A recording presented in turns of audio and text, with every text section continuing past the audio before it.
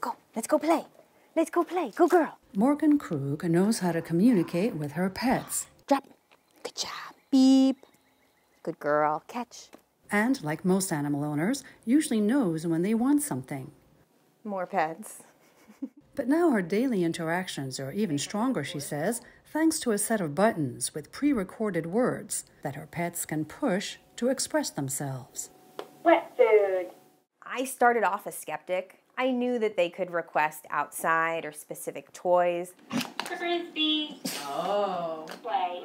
frisbee play. but this allows them to be specific about what they want. Beep. A dog trainer by trade, Krug is using a system called Fluent Pet, where she can use her own voice to record words. Ball.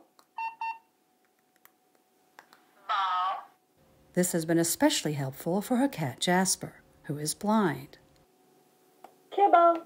Having the buttons and a voice when she doesn't have her her eyesight to navigate by has really enriched her life in ways that I could have never anticipated.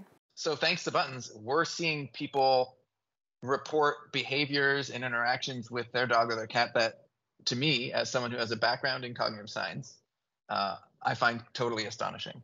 The company has also developed a Fluent Pet app that owners can use to collect data on their pets and keep track of what their dog or their cat has learned over time. Pets. Kibble. Training. One thing is clear systems like this hold a lot of promise for future advancements in human animal interactions. What does the door want? Outside. Okay, let's go. Julie Taboh, VOA News, Glen Allen, Virginia.